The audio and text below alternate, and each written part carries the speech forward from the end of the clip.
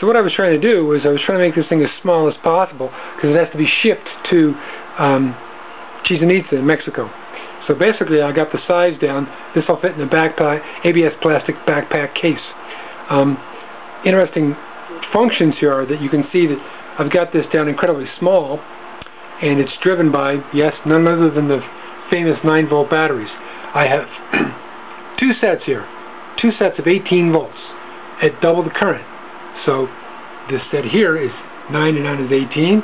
That's 9 and 9 and 18. In parallel gives me the double current. And these, these run quite well. These uh, linear pods from Radio Shack are not the best, but they do um, give me a good test bed with which to test out all of these things here. Just to get the package small.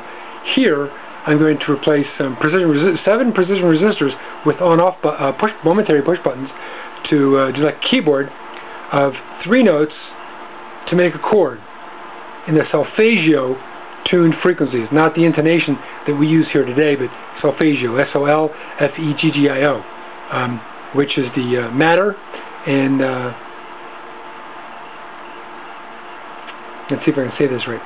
It uh, enables matter to levitate and to be uh, can't remember the word um, to be uh, dissected, so to speak. This is what Keely used, um, and a lot of the ancients used solfeggios and when they first found out that these certain tones do things with matter that intonation does not. Intonation only works against air, wood, and brass. So, with these uh, set of controls that I have here, I can um, replace them with any kind of um, high degree of accuracy that I need to. Right now this is a rough-in just to get these guys to drive off the 9 volt batteries to get this. And believe me, this thing is pretty loud. So what I'm going to do is on the next video, I'm going to actually turn it on and we can hear the scratching and the harmonic uh,